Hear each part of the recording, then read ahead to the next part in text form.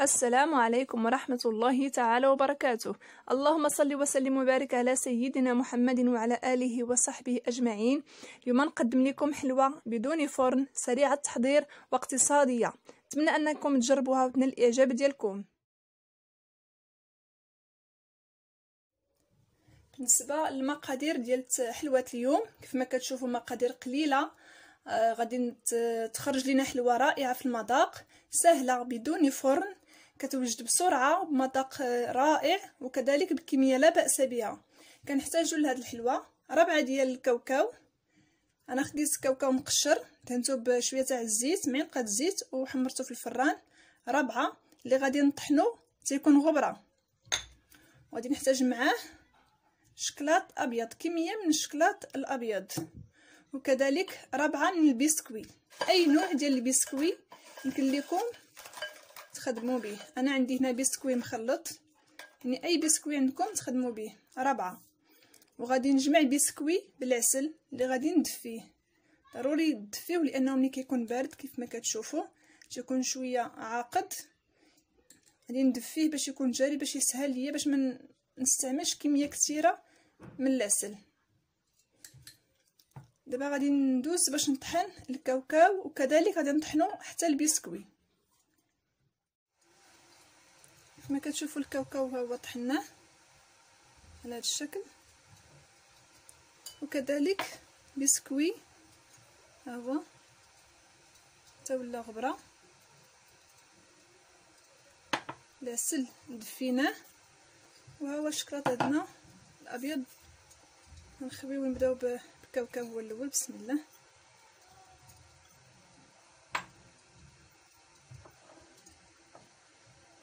نقلب هادو على جنب. صافي ونضيف الشكلاط الابيض الكمية اللي غادي تجمع لينا هاد الكاوكاو باش يكون عندنا واحد الخليط متماسك. يمكن لينا نشكلو منه واحد الحربول. أنا هنايا كنت ذوبت عشرين مرصو ديال الشكلاط ها هو تجمع ليا كما كتشوفوا هذا. غادي نحطو في الثلاجه يقبط راسو واحد شوية باش يمكن ليا نتحكم فيه.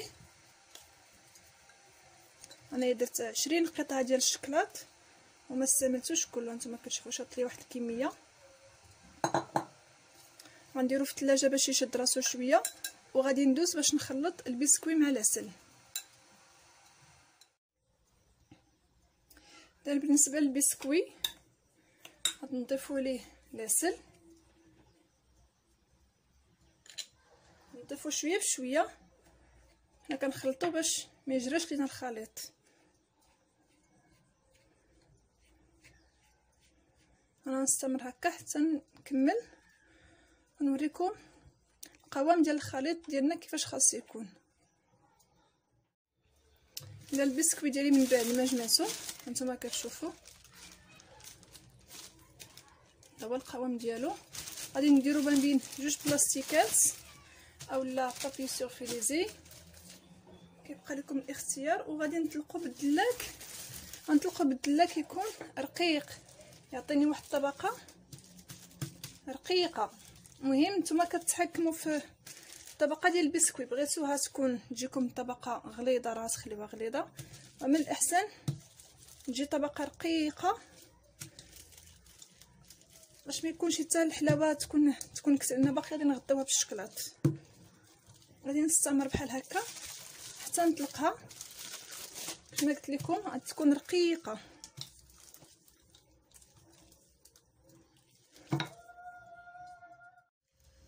من بعد ما طلقت الخليط ديال البسكوي مع العسل ها البلاستيكه كيسهل علينا إننا نتحكموا فيه. غادي نحطو دابا على جنب وغادي نجيب الخليط ديال الكاوكاو.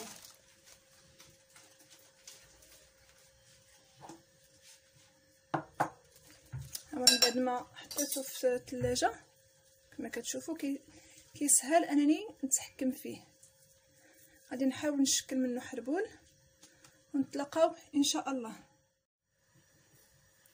صافي ما كنشكلو حربولات كيبقى الحجم ديالهم السمك ديالهم على حسابيت حنايا شحال بغينا يعني السمك ديال الحلوه واش بغيتوها. تجي عريضة يعني إلا كنتو بغيتوها عريضة غادي تزيدو تعرضوها على هكا اولا تصغروا يعني الحربول على هكا. نتوما كتحكموا فيها.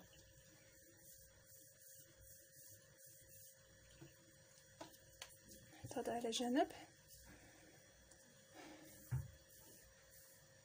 ونجيب البسكوي ديالي. هذا.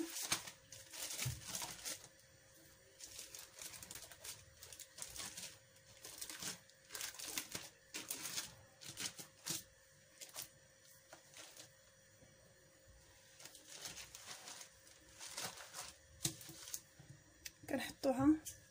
فوق البسكوي وكنستعملوا كنستعنوا بالبلاستيكة باش نلويو. هاد الطبقة ديال البسكوي على الكاوكاو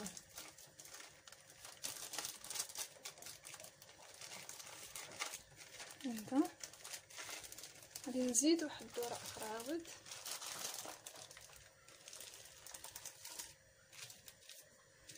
صافي. وغادي نقطع. غادي نقطع القياس ونعاود نطلق عاوتاني هذا. نفس العملية غادي نعاودها في النص ديال البسكوي اللي باقي ليا. صافي من بعد ما قدينا الحرابل ديالنا. نتوما كتشوفوا. كنجيبو شكلاط أسود. وبالشيته كندوزو من الفوق ديالو. بحال هذا الشكل. هكا. كندير هذا ال face نخليه حتى ينشف. ونعاود ندورو وندير ال face الآخر. هكا حسن من أننا إلا خشينا غادي ياخذ الشكلاط كتير. أصلا عندنا الحلوه فيها كمية من الشكلاط والعسل يعني بلا ما نزيدو الحلاوة. هكا كيف ما كتشوفوا غادي نخليها تنشف ونعاود ندير الأخرى من بعد ما ينشفوا غادي ندورهم ونعاود ندهنهم عاوتاني ونتلاقاو من بعد إن شاء الله. من بعد ما درت الوجه آه، درت له عاوتاني الشكلاط يمكن لكم ديروا أكثر من طبقة. كتخليوها تنشف وتعاودوا تزيدوا عاوتاني الشكلاط من الفوق. كيبقى لكم الاختيار غادي نستعمل. قبل ما كتكرم بطبيعه الحال كتكون نشفة شوية. قبل ما كتكرم كديروا خطوط يعني فقط للتزيين هذا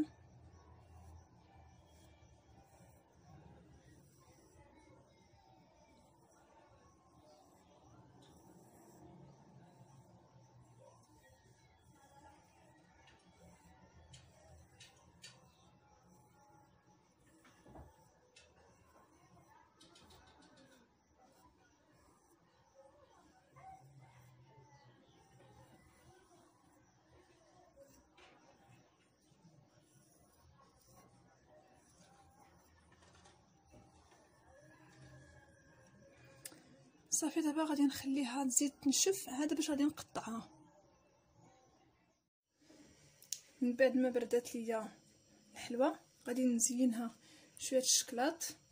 يعني درت شكلاط أسود زدت فيه شوية ديال الشكلاط الأبيض. كيبقاو إضافات اختيارية. ندير خطوط هكذا.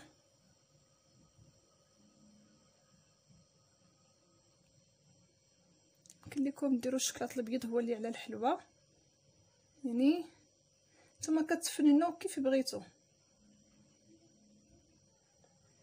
كتجي حلوة رائعة وكتخرج كمية لا بأس بها. يعني مزيانه يعني بنادم إلا بغى ينوع.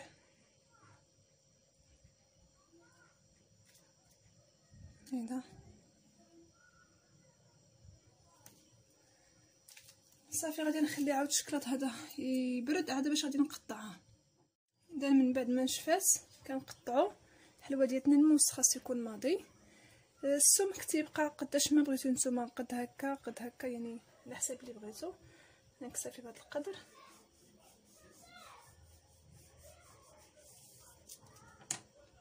هي كتجي في الحلوى كتجي المنظر زويون المذاق رائع. نتمنى أنكم تجربوها. وتنجح معكم. وتنال الاعجاب ديالكم.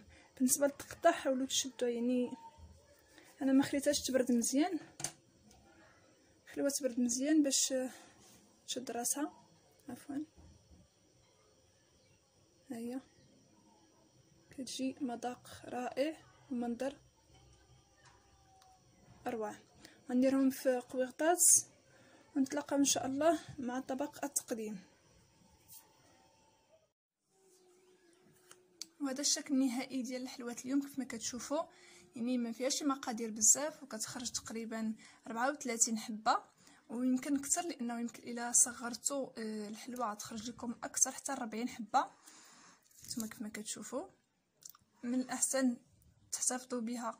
في الثلاجه بحكم هاد الأيام بدا كيسخن الحال ديروها في بواطه سدوا عليها مزيان. واحتفظوا بها في الثلاجه وبالصحه والراحة. نتوما كما كتشوفوا من الداخل كتجي رائعة. معلكه نتمنى أنكم تجربوها وتنال الإعجاب ديالكم. إلا كنتو أول مرة كتزوروا القناة ديالي نتمنى أنكم تابوناو وتفعلوا الجرس باش يوصلكم كل جديد. وما تنساوش أنكم تبارطاجيو الفيديو مع الأحباب ديالكم باش تعمل فائدة.